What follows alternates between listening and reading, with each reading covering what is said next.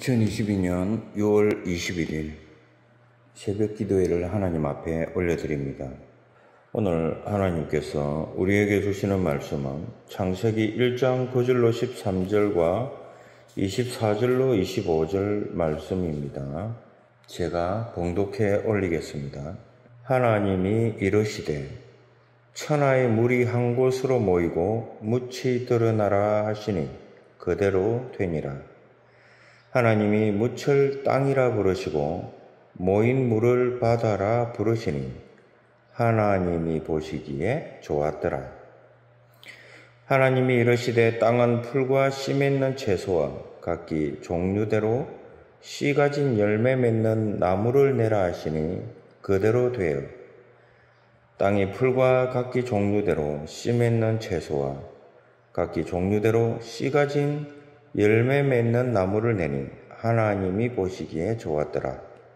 저녁이 되고 아침이 되니 이는 셋째 날이니라. 24절입니다. 하나님이 이르시되 땅은 생물을 그 종류대로 내되 가축과 기는 것과 땅의 짐승을 종류대로 내라 하시니 그대로 되니라. 하나님이 땅의 짐승을 그 종류대로 가축을 그 종류대로 땅에 기는 모든 것을 그 종류대로 만드시니 하나님이 보시기에 좋았더라. 아멘. 샬롬. 오늘 새벽 기도에 참석하신 우리 성도 여러분들의 가정과 기업과 생업과 자녀들 위에 또 건강 위에 하나님의 사랑과 은혜와 성령 충만하기를 예수 그리스도 이름으로 축원합니다. 창세기는 태초에 하나님이 천지를 창조하시니라 라는 말로 시작됩니다. 그렇죠? 이 말은 무슨 말이냐면 창세기를 열려면 태초에 하나님이 천지를 창조했다라는 사실을 믿지 않으면 안 된다는 얘기입니다. 태초에 하나님이 천지를 창조했다는 사실을 믿고 하나님을 경배하고 찬양하기 시작하면 창세기는 그 문을 엽니다. 그리고 창세기 안에 들어가면 하나님을 만나게 되고 창조의 놀라운 신비를 또 그 능력을 경험하게 됩니다. 히브리서 11장 3절에 보면 천지 창조에 대해서 이렇게 말합니다. 믿음으로 모든 세계가 하나님의 말씀으로 지어진 줄을 우리가 아나니 보이는 것은 나타난 것으로 말미암아 된 것이 아니니라. 천지 창조는 하나님의 말씀으로 되어졌다라는 말씀입니다. 그리고 이것은 믿음으로만 알 수 있습니다. 우리는 지난 시간 하나님께서 어떻게 하늘을 만드셨나 하고 살펴보았습니다. 오늘은 어떻게 땅을 만들었는지 살펴보겠습니다. 땅은 물에서 만들어졌다라고 하죠. 1장 6절에 보면 하나님께서 물에서 하늘을 만들었다라는 이야기가 나옵니다. 지구는 물로 가득 차 있었습니다. 하나님이 말씀하셨습니다.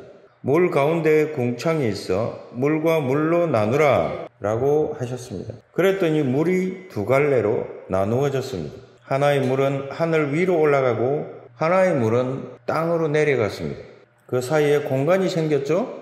거기가 바로 궁창입니다. 이 궁창을 지금은 대기권이라고 말합니다. 구절에 보면 하나님께서 땅을 만든 현장을 보여줍니다. 하나님이 이러시되 천하의 물이 한 곳으로 모이고 묻이 드러나라 하시니 그대로 되니라.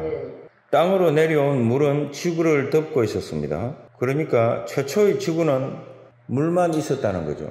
우리는 장세기 1장 2절에서 하나님의 신이 수면에 운행하셨다라는 말씀을 볼 수 있습니다.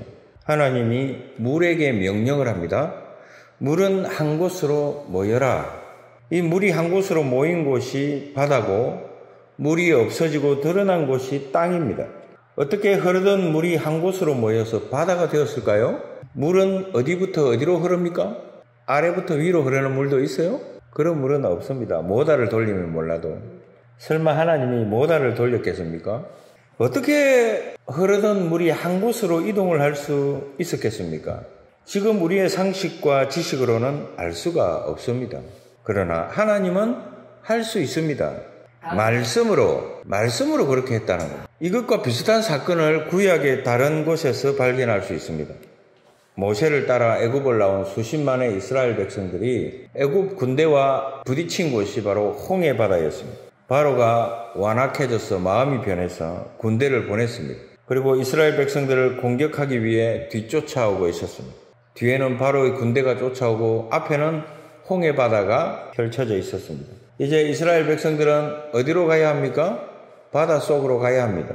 바다에 빠져 죽을 수밖에 없는 운명이었습니다. 그때 하나님은 홍해를 육지같이 가르시기로 결정합니다.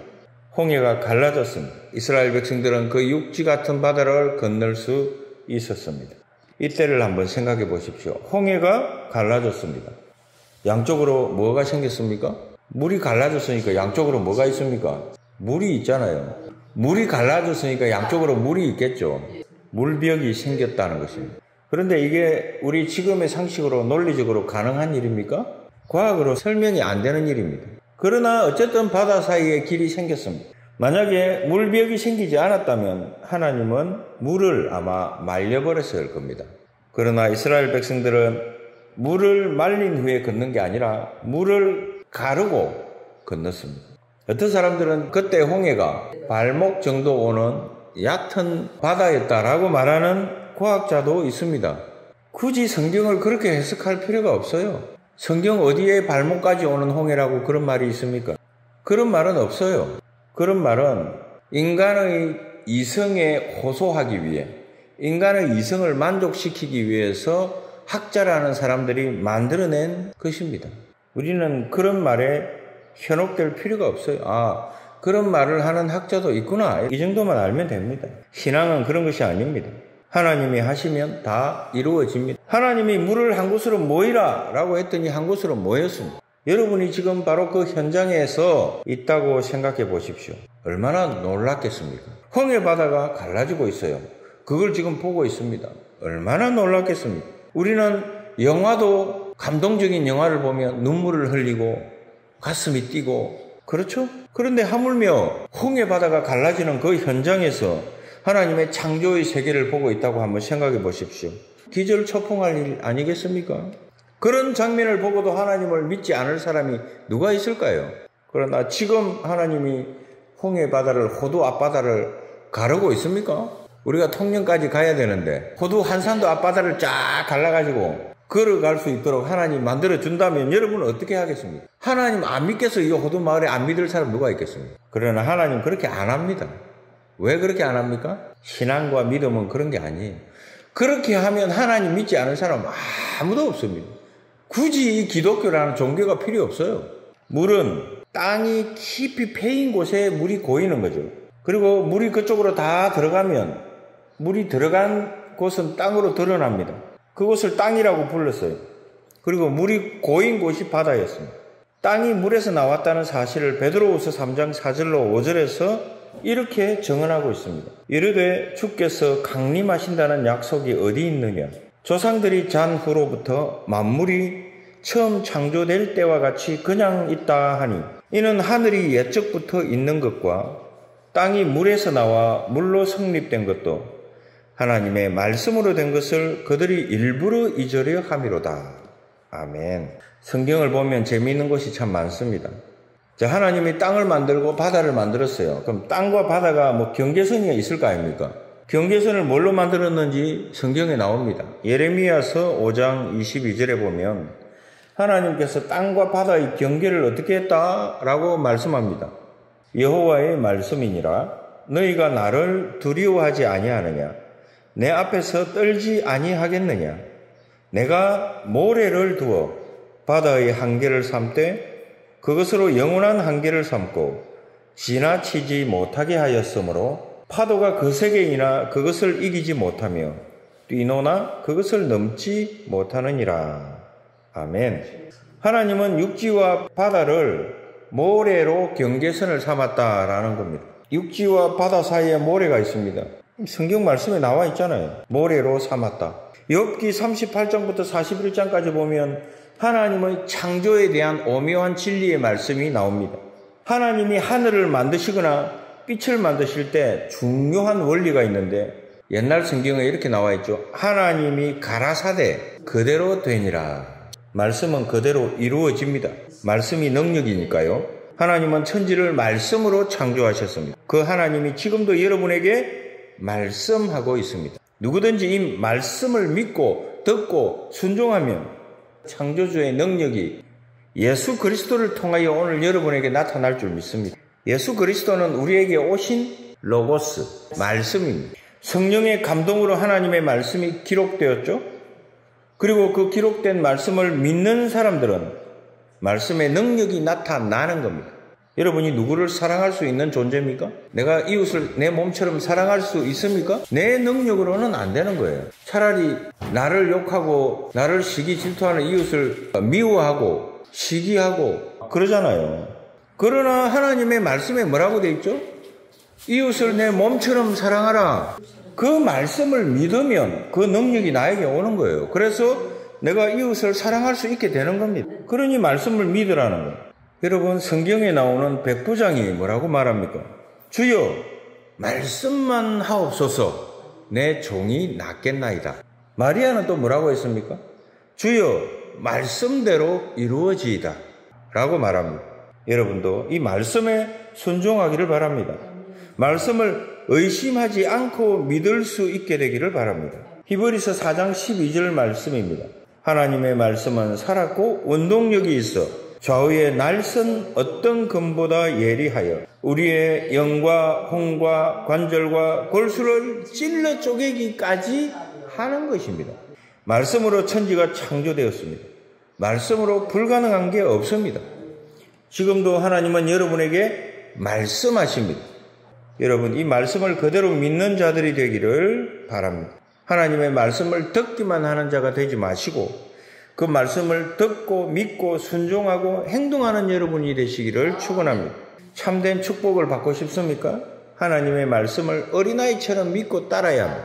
그러면 복 받습니다. 하나님이 창조하실 때 반복한 말씀이 있습니다. 하나님이 보시기에 좋았더라 라고 하는 겁니다. 하나님은 자기가 만드신 것을 보고 좋아했습니다. 하늘을 보고 좋아했고 땅을 보고 좋아했습니다. 하나님은 여러분을 보고 좋아하십니다. 하나님의 사랑은 하나님이 세상을 이처럼 사랑하사 독생자를 주셨으니 이는 저를 믿는 자마다 멸망치 않고 영생을 얻게 하려 하심이라.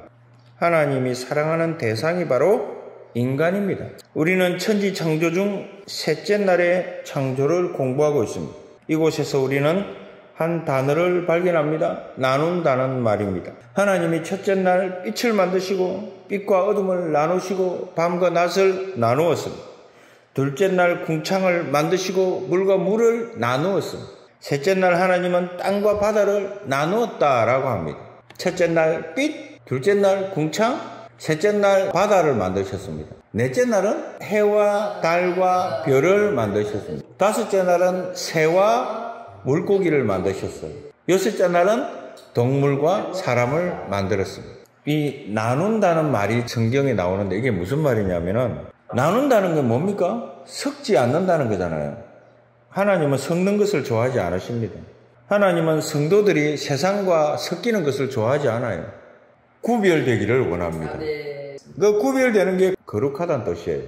하나님과 돈을 섞어서 섬길 수 없다라고 말하죠. 하나만 택하시기 바랍니다. 두 가지를 한꺼번에 할 수가 없어요. 예수 믿고 돈도 많이 벌고 아니요. 그러면 좋겠지만 하나님은 하나만 허락하십니다. 돈을 버는 영역은 하나님 거예요. 내가 하나님을 열심히 믿다 보면 그 나머지는 하나님이 알아서 해주시는 거예요. 그게 믿음입니다. 천국과 지옥이 섞여 있습니까? 따로 있습니다. 공존하지 않습니다. 나누어져 있습니다. 어떤 사람은 매일 천국과 지옥을 경험한다 그러죠. 어떤 때는 좋았다가 어떤 때는 기분 나빴다가 아이고 오늘도 천국 경험하고 지옥 경험했다 그러죠. 그러나 사실 그 사람은 지옥만 경험한 겁니다. 하나님은 천국과 지옥을 같이 경험하게 하지 않습니다. 성도들은 세상과 짝하면서 살면 안 됩니다. 셋째 날 하나님이 천지를 창조하실 때 풀과 씨 맺는 채소와 열매를 맺는 나무를 주셨다라고 말합니다. 11절과 12절입니다. 하나님이 이르시되 땅은 풀과 씨 맺는 채소와 각기 종류대로 씨 가 진 열매 맺는 나무를 내라 하시니 그대로 되어 땅이 풀과 각기 종류대로 씨 맺는 채소와 각기 종류대로 씨 가 진 열매 맺는 나무를 내니 하나님이 보시기에 좋았더라. 아멘. 하나님이 땅을 만드실 때 땅에서 자라나는 풀과 채소들과 나무를 만드셨다라고 하죠. 이제 드디어 생명체를 만들었다는 겁니다. 그러나 식물은 만들었지만 동물은 만들지 않았습니다. 동물은 언제 만들었습니까? 여섯째 날 만들었습니다. 하나님이 생명체를 만드는 것도 참 특이합니다. 하나님 먼저 빛을 만드시고 다음에 하늘을 만드시고 궁창, 대기권을 만들어 주셨습니다. 그리고 하나님 땅을 만드시고 물을 나눕니다. 바다가 생겼죠? 땅이 생겼죠? 인간이 생명을 누릴 수 있는 기본적인 환경을 일단 만들어 놓은 겁니다. 그리고 하나님은 풀과 채소와 과실을 만들 때에도 재미있는 것을 발견할 수 있습니다. 그것은 풀은 풀이요, 채소는 채소요, 나무는 나무라는 풀이 채소가 되고 채소가 나무가 되고 이런 게 아니에요. 풀은 풀대로, 채소는 채소대로, 나무는 나무대로 만들었다는 거예요. 섞지 않았습니다. 하나님께서 아담을 만드실 때 아담의 씨를 줘서 만든 게 아닙니다. 진화해서 만든 게 아니에요. 아담이 어릴 때부터 아기가 되어가지고 태어나서 자라가지고 아담이 되었다 이렇게 말하지 않습니다. 아담은 그냥 아담이에요. 아담 아담 그대로 하나님께서 하와의 갈비뼈를 빼가지고 아담의 갈비뼈를 빼가지고 하와를 만들었잖아요. 이렇게 섞지 않았어요. 지금 제가 반대로 얘기했잖아요.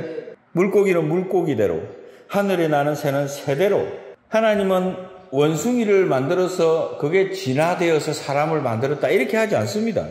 원숭이는 원숭이대로 만들었고 사람은 사람대로 만든 거예요. 이게 창조입니다. 원숭이가 진화되어서 사람이 되었다라고 말하죠. 이게 뭡니까? 진화론입니다. 원숭이가 진화가 되어 원숭이가 원래 이렇게 있다가 이렇게 해가지고 이렇게 됐다. 만약에 이걸 믿는다면 앞으로 몇 천 년이 지났을 때 인간은 어떻게 될까요? 한번 그걸 상상을 해보세요. 앞으로 어떻게 될까요? 이제 사람이 일을 안 하고 이제 로봇가 일을 하는 시대가 올 텐데 그러면 사람이 손도 안 쓰고 발도 안 쓸 텐데 집에서 가만히 텔레비전만 보고 앉아 있을 텐데 그러면 어떻게 될까요? 자꾸 안 쓰는 게 퇴화하겠죠? 그럼 나중에 팔도 없고 다리도 없고 머리만 있는 인간이 나올 거예요. 이게 진화입니다. 그 나중에 그런 인간이 있다고 한번 상상을 해보세요. 얼마나 끔찍합니까? 그러니까 인간은 그렇게 만들지 않았다는 겁니다. 또 하나 발견하는 것이 뭐냐면 종류대로, 종류대로 섞거나 발전시키거나 진화시키지 않았습니다. 이게 셋째 날의 창조입니다. 이게 하나님의 질서요, 조화요, 중용의 하나님. 땅을 만드시고 여러 가지 동물이 먹을 수 있는 식물을 만드시고 드디어 여섯째 날 동물을 만들었습니다. 24절과 25절에 하나님이 이르시되 땅은 생물을 그 종류대로 내되 가축과 기는 것과 땅의 짐승을 종류대로 내라 하시니 그대로 되니라 하나님이 땅의 짐승을 그 종류대로 가축을 그 종류대로 땅에 기는 모든 것을 그 종류대로 만드시니 하나님이 보시기에 좋았더라. 하나님은 마지막 창조의 끝 단계로 땅의 짐승들을 만들었습니다. 그 종류대로 만들었다라고 하죠. 하등 동물을 고등 동물로 만든 게 아닙니다. 처음부터 하등 동물은 하등 동물로, 고등 동물은 고등 동물로 만든 겁니다. 변하고 진화하고 발전된 게 아니에요. 하나님은 지금 우리가 볼 수 있는 모습 그대로 태초에 만들었다는 겁니다. 드레핀 꽃을 한번 보십시오. 여러분, 얼마나 웅장하고 신비롭고 상상할 수 없는 창의력이 있는지 모릅니다. 지상에 있는 색깔을 하나님이 만드신 꽃의 색깔을 그대로 재창조해 낼 수가 없다고 합니다. 한번 상상을 해보세요, 여러분. 이 세상에 얼마나 많은 색깔이 있습니까? 이 많은 색깔들이 인간이 만들었을까요? 그렇지 않습니다. 하나님께서 만들었습니다. 인간은 그냥 있는 색깔에다가 뭘 조금 더해가지고 다른 색깔로 만들어낼 뿐입니다. 고린도전서 15장 38절로 41절에 보면 놀라운 말씀이 나옵니다. 하나님이 그 뜻대로 그에게 형체를 주시되 각 종자에게 그 형체를 주시느니라. 육체는 다 같은 육체가 아니니 하나는 사람의 육체요, 하나는 짐승의 육체요, 하나는 새의 육체요, 하나는 물고기의 육체라. 하늘에 속한 형체도 있고 땅에 속한 형체도 있으나 하늘에 속한 것의 영광이 따로 있고 땅에 속한 것의 영광이 따로 있으니 해의 영광이 다르고 달의 영광이 다르며 별의 영광도 다른데 별과 별의 영광이 다르도다. 아멘. 참 귀한 말이죠. 하나님께서 형체를 주시고 종자를 주셨다라고 말합니다. 모두 육체가 있지만 다 같은 육체가 아니라는 거예요. 사람의 육체가 다르고 새의 육체가 다르고 짐승의 육체가 다르고 물고기의 육체가 다르다는 겁니다. 겉으로 보면 모두 고기 덩어리지만 하나님이 만드실 때는 다르게 만들었다고 하죠. 육체는 모두 같지 않습니다. 인간은 하나님의 모양과 형상을 따라 하나님과 교제하는 존재로 만들었습니다. 하나님을 믿지 않는 사람들은 섞을 수 있다고 말하죠. 인간이 짐승이 되고 짐승이 인간도 될 수 있다고 말합니다. 이게 뭐냐면 유물사관입니다. 공산주의 사상이죠. 인간을 하나의 경제적 동물로밖에 보지 않는 겁니다. 인간을 하나의 물질로 봅니다. 그래서 사람을 물질로 평가합니다. 그래서 이 유물사관 때문에 내가 필요하면 언제든지 사람을 물질이기 때문에 죽일 수가 있는 거예요. 내가 필요할 때 저 사람을 죽일 수 있는 거예요. 그게 공산주의 사상입니다. 그래서 많은 사람들이 갈등 없이 인간을 죽입니다. 한 곳에 몰아놓고 다쏴 죽입니다. 왜? 우리한테 지금 필요 없는 인간들, 물질들이라고 생각하기 때문에. 저 물건들은 없어져야 돼. 하나님의 형상으로 지음을 받은 인간들이 자연을 파괴하고 자연을 파괴한 인간들은 짐승처럼 삽니다. 왜 이런 일을, 일이 일어날까요? 원숭이가 인간이 될 수 있고 인간이 짐승이 될 수 있다고 생각하기 때문입니다. 하나님이 없다고 생각하기 때문이죠. 인간은 하나의 육체에 불과하다라는 겁니다. 그러니 죽으면 끝이다. 죽으면 흙이 될 뿐이다. 밭에 걸음이다. 그걸로 끝이다. 이렇게 생각하니까 살아서 어쨌든 잘 먹고 잘 살자. 뭐 놀고 어허 지하자 좋다. 놀다가 먹다가 즐기다가 인생 끝내려는 거예요. 그게 뭐냐면 바로 하나님을 안 믿는 사람들. 여러분 집에서 밥 먹을 때 어떻게 먹어요? 밥도 차리고 국도 차리고 반찬도 차리고 그렇게 먹죠? 무슨 짐승처럼 아무거나 밥이고 국이고 다 섞어가지고 그냥 밥상에다 퍼지를 놓고 혼자서 막 숟가락도 젓가락도 없이 막 먹습니까? 그렇게 않잖아요. 그런 걸 한번 보십시오.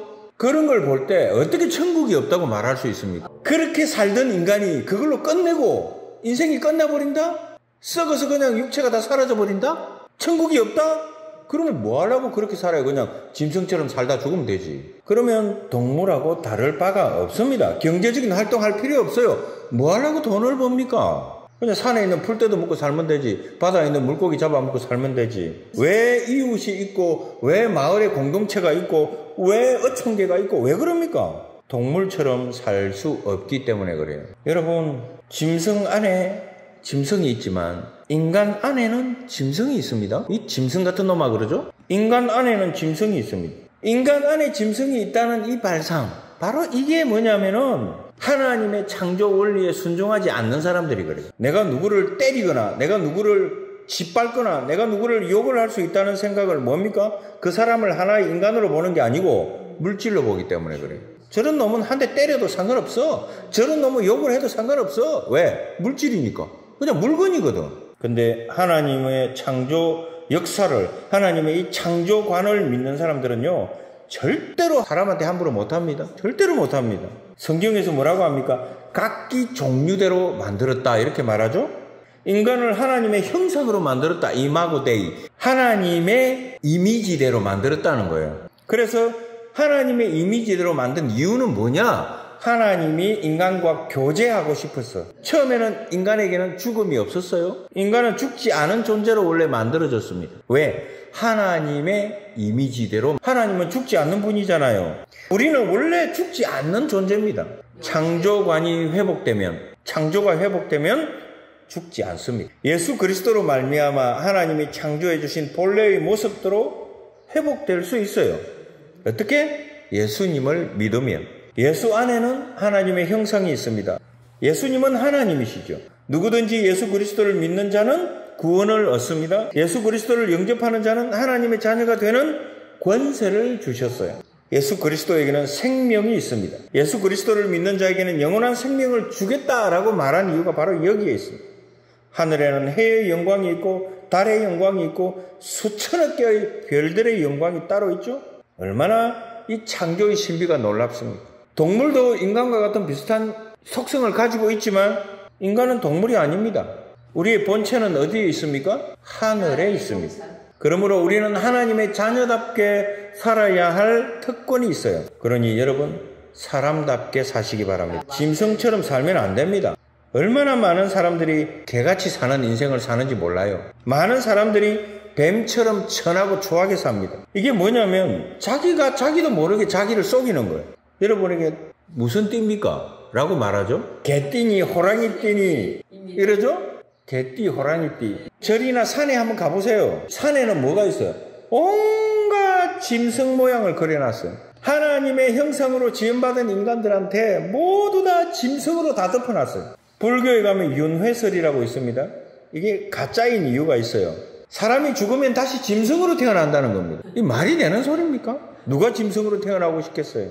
사람이 짐승이 되었다가 또 사람이 될 수 있습니까? 깨끗한 물과 더러운 물이 합쳐지면 깨끗하게 될까요? 더러워질까요? 깨끗한 물과 더러운 물이 합쳐지면 더러워집니다. 너무나 상식이죠. 지옥과 천국이 합쳐지면 천국이 될까요? 지옥이 될까요? 지옥입니다. 짐승과 인간이 합쳐지면 인간이 될까요? 짐승이 될까요? 짐승이 됩니다. 인간이 아니에요. 예수 믿는 사람들이 내 새끼 결혼시킬 때 뭐 보러 갑니까? 이런 사람도 있어요. 사주 보러 가는 사람이 있어요. 그리고 띠를 봐요. 아, 여자 띠가 뭐냐? 물어봐요. 근데 그 사람은 예수를 믿어요. 말이 됩니까? 나는 짐승입니다 하는 소리예요. 하나님은 우리를 하나님의 형상을 따라 지어 주셨습니다. 인간은 동물이 아니에요. 원숭이는 원숭이고 사람은 사람입니다. 바꾸어지지 않습니다. 말씀을 마무리하겠습니다. 인간만이 하나님과 교제하는 축복된 존재로 만들어졌습니다. 여러분 이게 창조입니다. 하나님이 우리를 그렇게 만들었죠. 동물과 식물과 해와 달과 별과 우주의 모든 것을 인간에게 다스리라고 통치하라고 만들어 주셨어요. 인간이 얼마나 귀한 존재입니까? 그리고 우리를 하나님의 아들로 삼아 주셨습니다. 그러니 여러분 짐승처럼 살지 마십시오. 인간답게 사십시오. 동물적인 본능 있습니다. 그러나 예수의 이름으로 꺾어버리시기 바랍니다. 하나님의 자녀답게 사시기 바랍니다. 저도 시시때때로 이런 기도를 합니다. 하나님, 시시때때로 내 마음에 욱 하고 올라오는 이 더러운 짐승의 본능을 하나님 예수 그리스도 이름으로 없이 해 주십시오. 라는 기도를 수시로 해요. 왜냐하면 저도 사람이기 때문에 목사기 전에 사람이기 때문에 누구를 미워할 수 있어요. 누구를 시기할 수 있어요. 누구를 질투할 수 있어요. 또 욕심이 날 수 있어요. 그러나 그걸 꺾어야 돼요. 그걸 꺾어내는 게 하나님의 이 창조를 믿는 사람의 본능입니다. 본능. 하나님의 자녀답게 사는 것이 그렇게 만만한 일이 아닙니다. 세상과 섞이면 절대로 이런 능력이 나타나지 않는다는 것. 이게 바로 창조의 축복입니다. 기도하겠습니다. 하나님 예수 그리스도로 말미암아 하나님의 형상이 우리 안에 새롭게 회복되게 하여 주시사 우리 안에 온전한 아들의 형상이 이루어지게 하여 주옵소서. 예수 그리스도 이름으로 기도드리옵나이다. 아멘.